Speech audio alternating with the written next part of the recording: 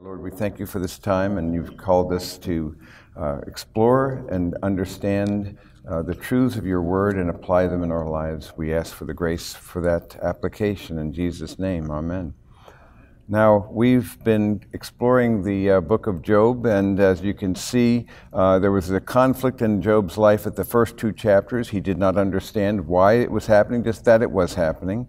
And uh, there was the rest of the book, the bulk, bulk of the book is devoted, devoted to these uh, attempts to find some kind of a meaningful answer as to why these things are actually occurring, because it's impossible to really be sure. And so we have all these cycles of debate, but it gets worse and worse, and there's more and more heat and less and less light as the time goes by. And then God Himself is the one who breaks in. When you're looking at this book, this architecture is that something happens. We don't know why it's happening to us, but it's happening. We all have ex- this experience, don't we? And you can't figure out, and you're, then you're trying to figure out why it's happening. And every time, if God were to give you an answer, you'd have, that would not actually satisfy you. Then you'd want another answer to understand that answer. And then that would raise another question, and you'd want to have another answer ad infinitum. You'd go, you'll never go there. Here's why. Because you can't get it to begin with. It's impossible. You cannot try to understand it. And this is what I've been using nature to illustrate uh, the glory of God in this book because as we've been uh, seeing, there are certain things that seem impossible for us to grasp apart from the uh, glory of God. I'm going to be showing you one of those things. But when I, when I look at any kind of flower will do, anything at all, and you want to unpack the mystery of any of these flowers and the uniqueness and the diversity and the beauty and, and that biology, you would never be able to understand one of the cells in that, let alone the entire uh, of that. And that's just a, a flower and then you go higher up with insects and then animals and so forth. And I'm going to, my intention is to show you some wonderful creatures and wonderful things that actually boggle the imagination and illustrate the very point of this book. That if you, you can't understand the natural world, if I have shown, if I spoke to you of earthly things and you cannot comprehend, why do you suppose you'd understand if I spoke to you of spiritual things? You see, it's even higher level. If I spoke to you about, for example, uh, the nature of this world in terms of energy, no one knows what energy is. Yet spirit is what called energy into being. The whole thing, in other words, is entirely mysterious, and we are immersed in that mystery of God that shows us from the created order that we should actually uh, have understood it this way. This wonderful Elizabeth Barrett Browning poem that I keep quoting keeps coming to my mind because earth's crammed with heaven, and every common bush afire with God. But only he who sees takes off his shoes. The rest sit round and pluck blackberries. That's a good summary of our situation. The visible world and what God has made, not what we've made, but what God has made. Pick anything you want. Any leaf will do. Any insect, uh, any flower, any fish it gets more, the bigger, the more complex it gets, the more amazing it becomes. You can't grasp it. I'll show you a video to illustrate that. The fact is that we can't grasp the, the fringe of his ways, and we're being invited by God then to say, I'm the one who made all these things. You're going to have to learn to trust in me. I'm the one who actually created these things, this unity out of diversity. And this is a video of, about this. It's a Japanese pufferfish. And it's the most intriguing little creature because you see this creature then, um, this is from a BBC Earth presentation, but check out what this pufferfish does. Unfortunately, this small Japanese pufferfish is dull, almost to the point of invisibility. But to compensate, he is probably nature's greatest artist. To grab a female's attention, he creates something that almost defies belief.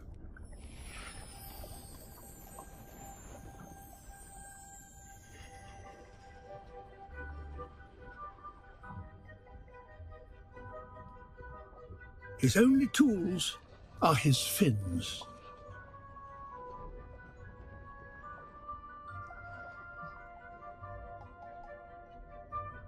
In his head, a plan of mathematical perfection.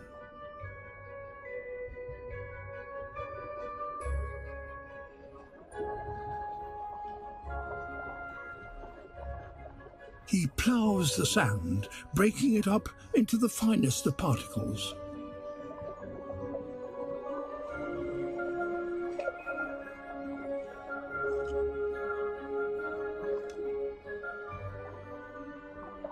These shells aren't just rubbish to be removed. He uses them to decorate the bridges of his construction.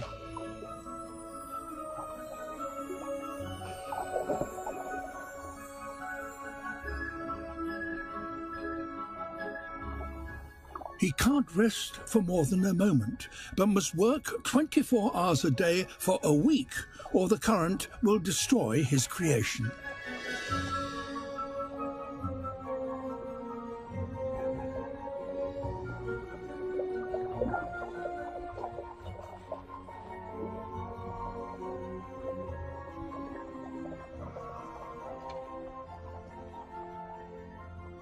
Final tidy up, and his masterpiece is complete.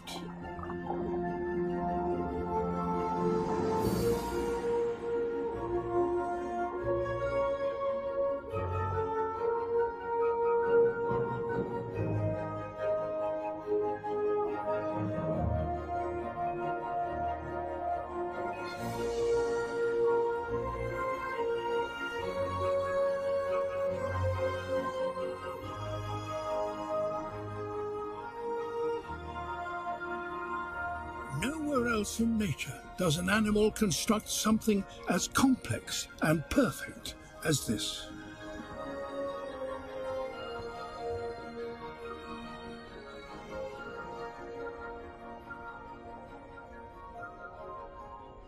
If this doesn't get him noticed, nothing will.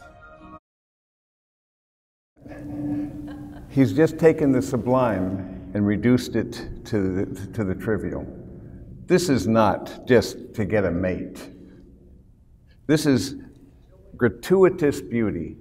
This is so far beyond what is necessary.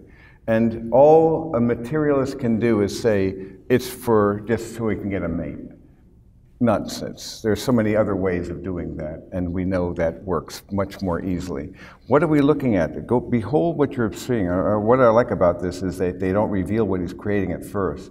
But you'll notice that at first you see him, he's got a happy little face, hopeful eyes. You know, we kind of attribute that. But he looks, uh, he's, he's using his fins, and you'll see he's using his dorsal fin. And you see that that fin is the only thing that's touching, you see? The rest of it, it's a perfect height. He does not actually swim above. How am I doing? You see, he's creating something that's a marvel, it's a masterpiece. In fact, what he's creating is this. And you can see the fish right there. You see the puffer fish right there? And uh, he's created this wonder. He doesn't even know what he's making. But it's perfect. It's exquisite in its structure and its layout. The complexity makes it reminds me actually quite a bit of these rose windows you see?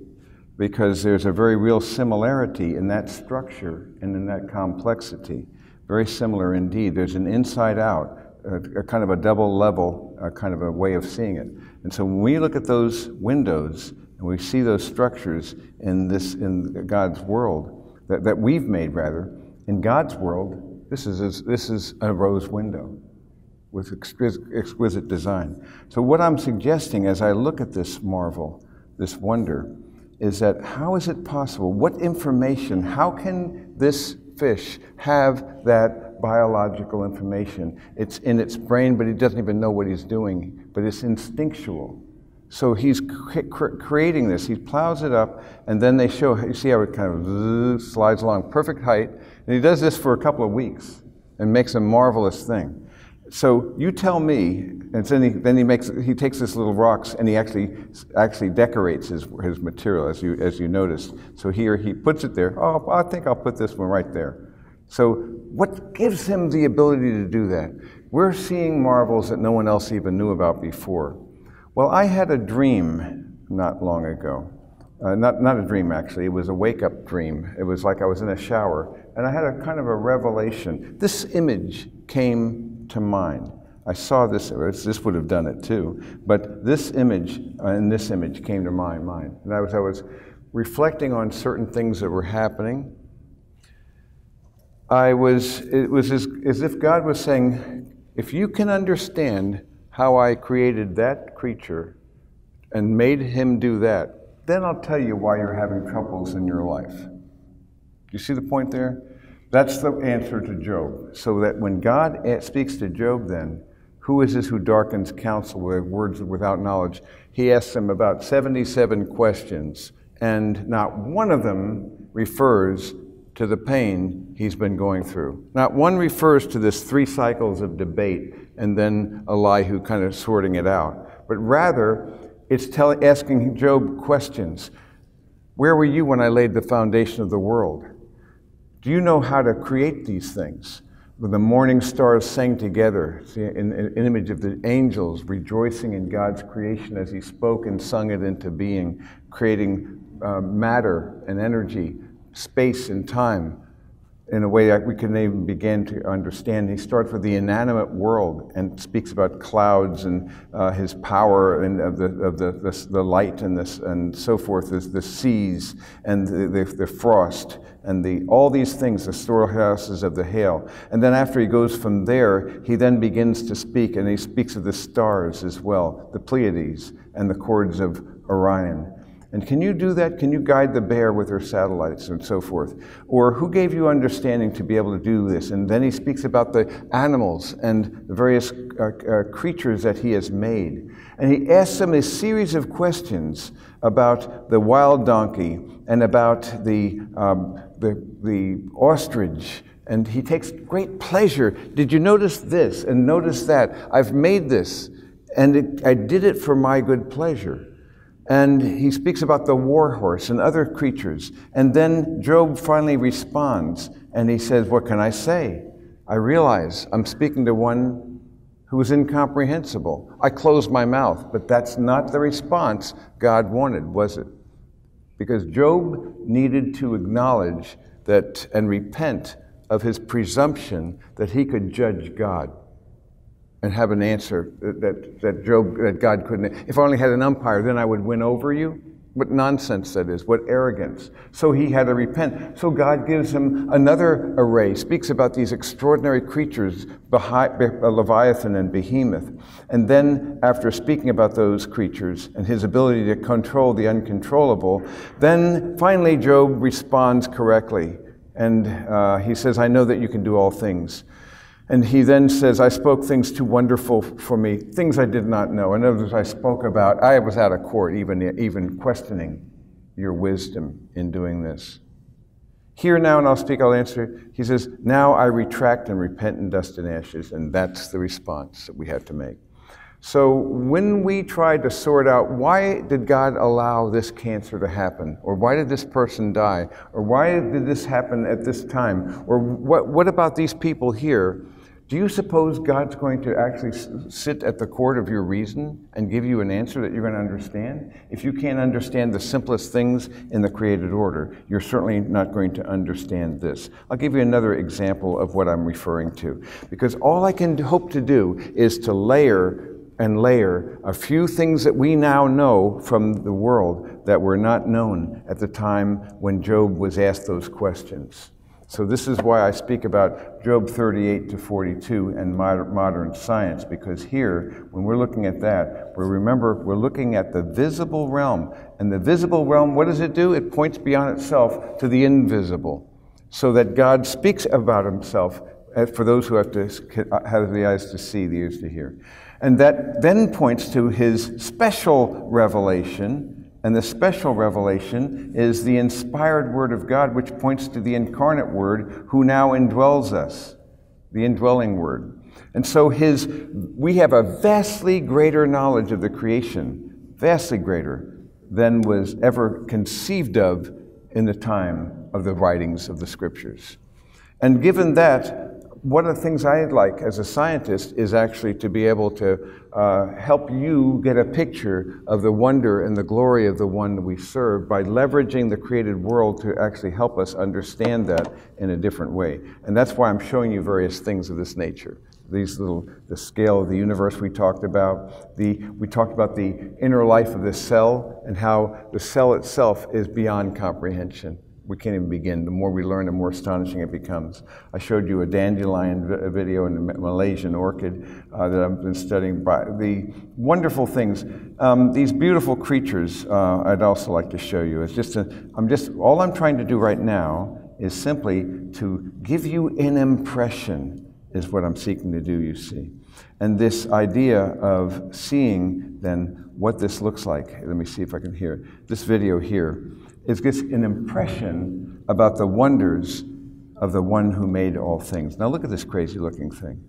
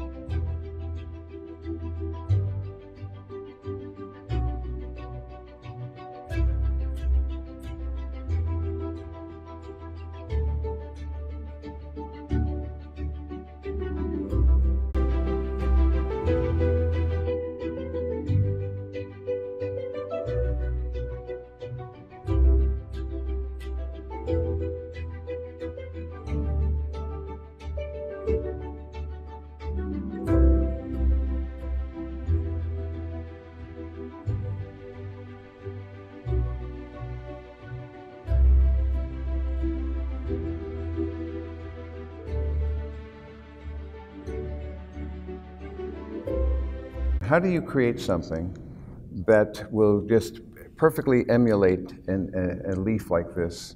It's all or nothing. If you had a little a leafy appendage that just came along because, after all, it was a mutation, um, natural selection would eliminate it because it has no survival value. You'd have to have the entire thing working all at once, or, or it just wouldn't work at all. Again, it, uh, uh, it boggles the imagination, but they work perfectly in the way they adapt in the natural world.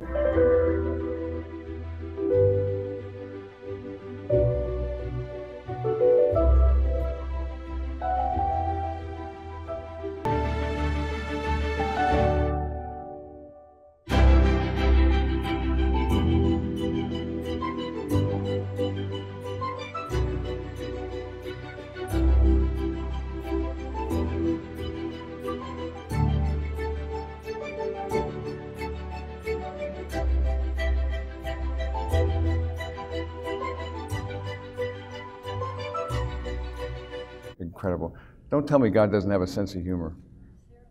So you can see then that these are just, again, illustrations of something that is uh, quite remarkable. When I think about um, this, this whole area of moving art. There's, a, there's something on Netflix I'd like to recommend you're considering to see, and I use this by way of worship, actually. So um, there's a whole series of these, and they are um, Louie uh, uh Schwartzberg um, has done this wonderful drone photography and also a time lapse photography, beautiful stuff. And I could pick any one of these things, but um, it's, and it's, so it's, it's, but under, in Netflix, it's called Moving Art. And so there's three seasons of it, and it's well worth your looking at. I'll, I'll probably comment about that again. But if I go to uh, underwater, for example, here, and then if I had oceans here, and then grab that little guy there, and then play this thing here. So. You, and so this is worship for me when I look at the natural world and this beauty that uh, is well crafted and illustrates this. And you see the intensity and the complexity of this underground world that has its own rules we can't even begin to grasp. And you see the, the, the, biodiversity that pleases God, the jellyfish, and you can see these exquisite things. One of my favorite things to see in an aquarium is always the jellyfish, they, they amaze me. So when you see this, and then the, the corals as well, uh, so exquisite nature of these, it's like, again, like plants. They're, they're like um, flowers and animals and so forth, but underwater, it's its own environment, its own realm, its own world, so that there's a gratuitous beauty that abounds throughout the world. Look at the exquisite nature of these fish, and see how they work with the, uh, the corals there and the little uh, the ends.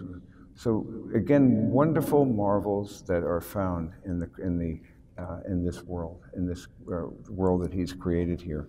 Um, there's also uh, the uh, underwater one as well, and uh, this is another one I like so much. So this is again something I would recommend for your consideration. But just go to Netflix, Moving Art, and for me, when I watch these videos, it's worship. Because what, what are you doing? You're amplifying, you're leveraging what we see in, the, in God's created world. And you can see what mind could make these kinds of creatures, you see the, the glory of this, the wonder, these urchins and other creatures that he's made that give him pleasure. And, and, and frankly, many of these we didn't even know existed. And the further down you go, the more amazing it becomes. And so the world is filled with these wonderful uh, marvels that we can behold. You see how they undulate and but they're alive and there's a vibrancy and there's a, a, a, complex systems all affecting one another. Everything's connected in that respect.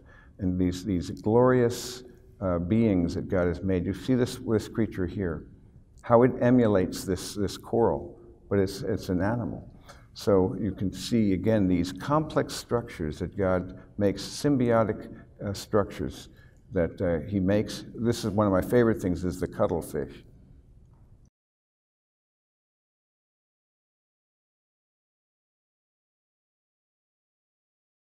It's beyond our comprehension, beyond our imagination. So, what I try to do here is when I look at these marvels that God has made, what mind could make that? What mind could actually craft that? So, it's a fearful symmetry in this universe as I describe it. So, I see this beauty, and I, there's something in us that resonates with it, that we appreciate the color, the diversity, the complexity that God uses. And it's, again, as I say, gratuitous. It's beyond what you ever needed for just a differential uh, reproduction. This is far, far more than that. So when we consider then God's world and His handiwork, then what we can amplify that and begin to see things that we could have never imagined before that are extraordinary. I'll give you one, one more example of this. There's another thing I'd like you to consider looking at. It's the John 1010 project. Very good. Um, it's on uh, YouTube, and it's um, really about the whole area of showing the glory of God in the created order. And one of the things I'm going to show you is this um, hummingbird tongue, this living machine. think this is the one, yes.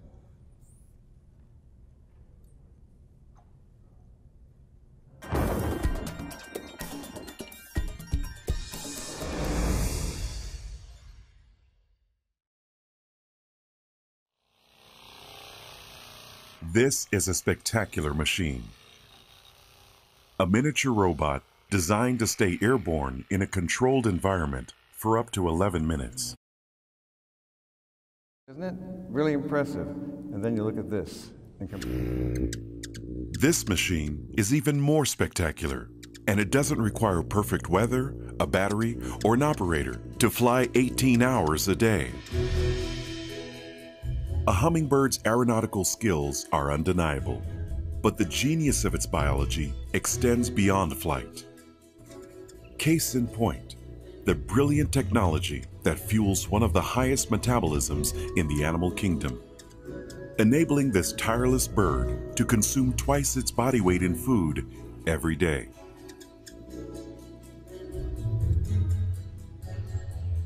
The hummer's tongue is thinner than a fishing line Yet it's designed to rapidly collect and transport nectar with an elaborate system of component parts. Long thought to work like a drinking straw, science has now revealed that the bird's tongue is actually a nectar trap equipped with a pair of narrow tubes that can reach deep into a flower. These tubes are segmented into rows of elastic flaps, each anchored to a supporting rod. When the bird isn't eating, the flaps align to form two chains of closed loops that fit compactly into the beak.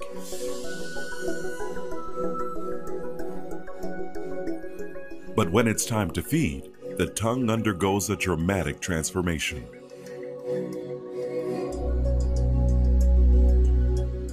While approaching its target, a network of muscles and bones quickly extend the tongue to make contact with the nectar.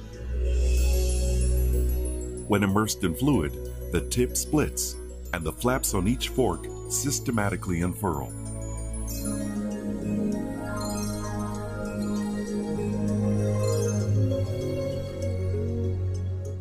Then, as the tongue withdraws, the flaps close tightly to capture and seal the nectar for instant delivery into the bird's mouth.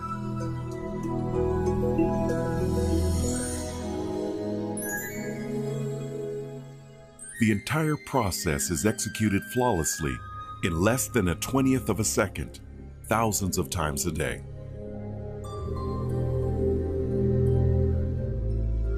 Superb design like this begs an obvious question. In nature, are such levels of engineering possible without purpose, plan, and a creator to orchestrate every step of the process?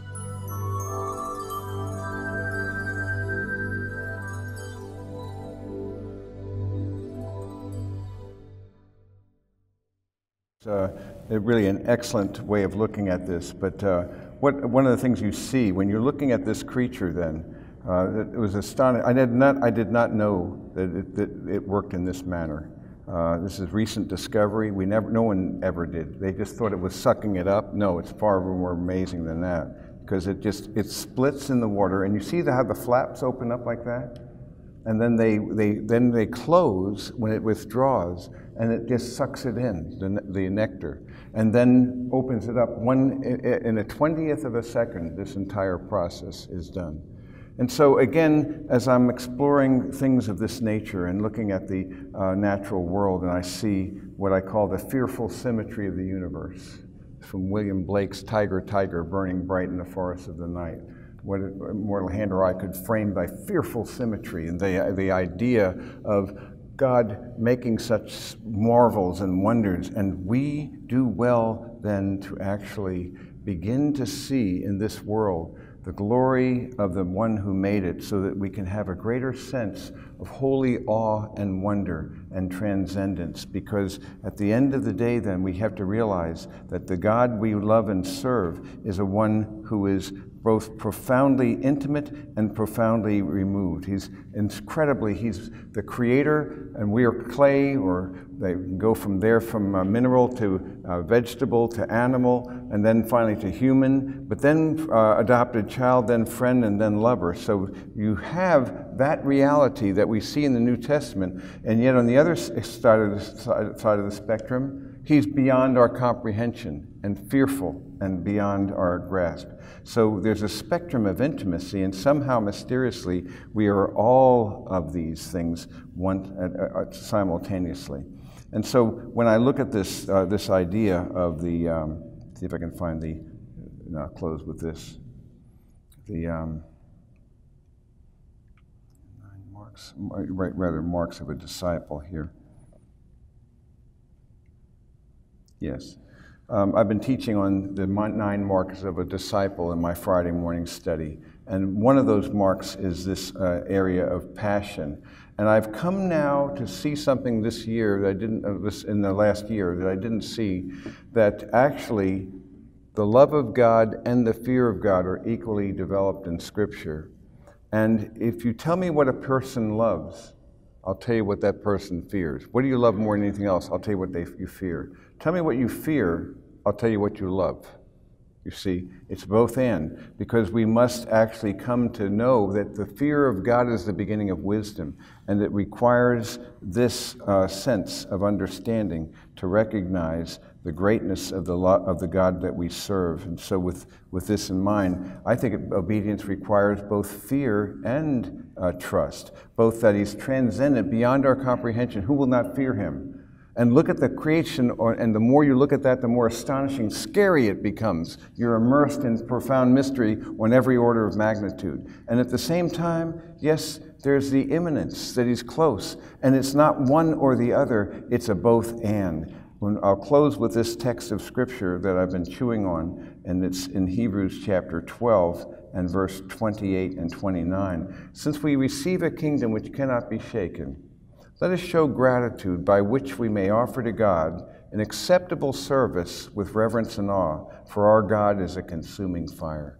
So we walk with Him then in a sense of holy awe and reverence. Lord, we thank you for the time that you have granted us on this world, as in this soul forming world. May we actually, by your grace, come to know you better and to love you, but also to actually come to grasp your greatness, your transcendent majesty, and your awe. We thank you in Jesus' name. Amen.